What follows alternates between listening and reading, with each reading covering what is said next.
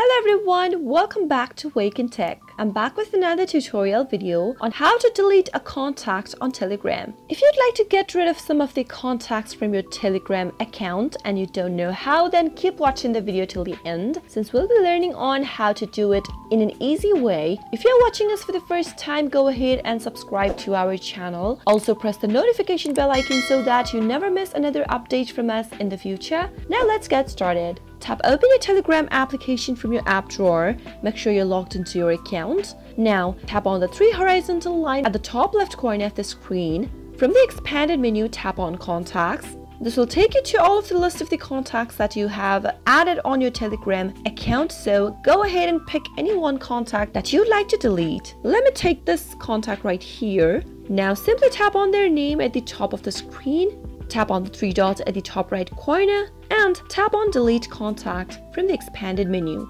In the pop-up menu that appears, tap on Delete to confirm your selection. And there you have deleted a contact from your Telegram contact list. That is how you can easily delete a contact on Telegram if you no longer want them to appear on your contact list. I hope the tutorial was helpful. If it was, go ahead and give us a thumbs up. Comment down below in the comment box if you have a question or a feedback for us. I'll be back soon with more tutorial episodes again. Thank you for watching.